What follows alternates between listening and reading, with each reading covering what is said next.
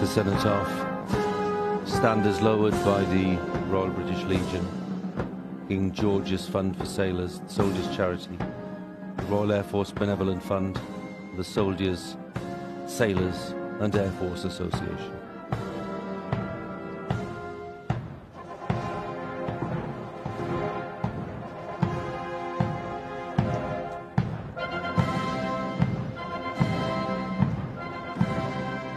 Of course, every year of the happy event of the